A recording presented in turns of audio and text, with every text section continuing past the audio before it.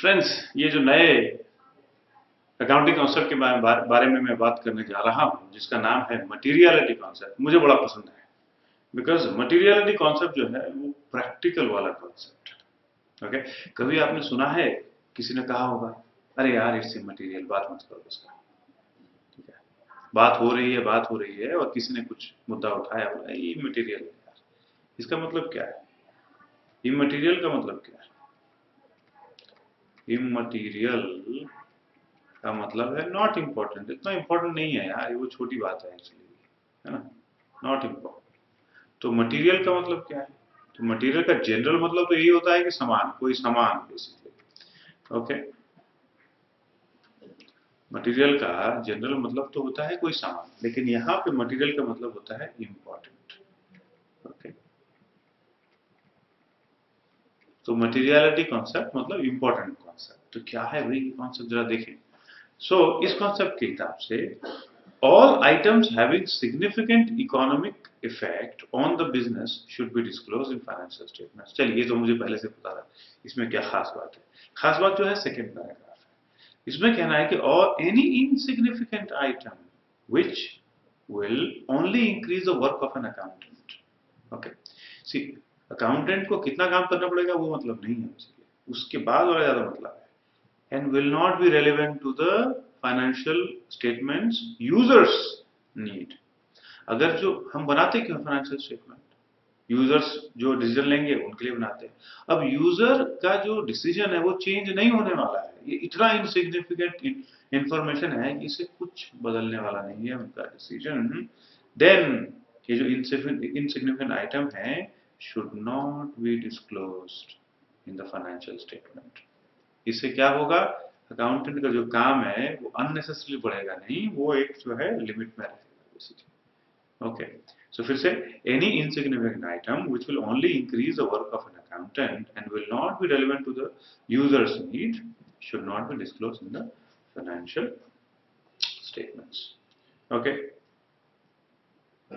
चलिए, एक एग्जांपल पहले ले लेते हैं, उसमें समझ में आएगा इस चीज़ को कि हम बात क्या कर रहे हैं। तो अब देखिए कि एक कंपनी है और कंपनी का हम बैलेंस शीट बना रहे हैं थर्टी फ़र्स्ट मार्च का जो डेट है उस पर हम बैलेंस शीट बना रहे हैं। उस कंपनी के पास एक तरफ़ असेट्स है, दो करोड़ का मशीन है, फिर दस करोड़ का भी मशीन है उनके पास, फिर अभी अभी ये पच्चीस करोड़ का भी मशीन आया है। तो पच्चीस करोड़ का मशीन दस करोड़, पैंतीस करोड़ पैंतीस करोड़ प्लस दो crore thirty seven crore plus और मिला जुला लें तो थर्टीन करोड़ का टोटल जो है उनके पास असेट होता है। टोटल फिफ्टी करोड़ असेट होता है। तो एक तरफ़ ये असेट्स की बातचीत चल रही है और दूसरी तरफ़ कुछ अलग टाइप के असेट्स की बातचीत चल रही है।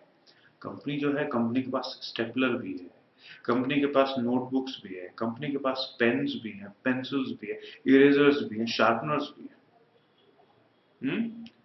क्या ये pen pencil eraser sharpener stapler क्या ये असेट हैं? असेट का डेफिनेशन आइडियली तो यही होता है कि अगर अगले ईयर भी इसका यूज़ आप करेंगे तो वो असेट है। मानता हूँ तो है आइडियली तो है। लेकिन इनका वैल्यू जो है, इसका वैल्यू अगर मैं दिखाऊँ सब कुछ एग्जैक्टली exactly हमारे फाइनेंशियल स्टेटमेंट के जो यूज़र्स हैं कि हमारे पास इतने पेन हैं और इतने पेंसिल हैं और इतने इरेजर क्या उसके बेसिस पे वो फाइनेंशियल जो यूज़र है, उसके बेसिस पे कुछ डिसीज़न बदलेगा वो?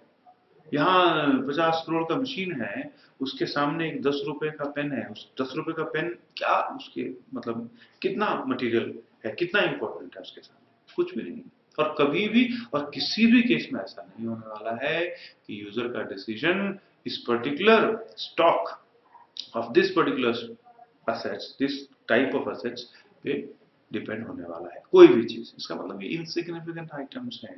और इनसिग्निफिकेंट आइटम्स हैं तो आपको ये फाइनेंशियल स्टेटमेंट में दिखाने की ज़रूरत भी नहीं है। तो क्या कर सकते हैं? दिखाएँ नहीं।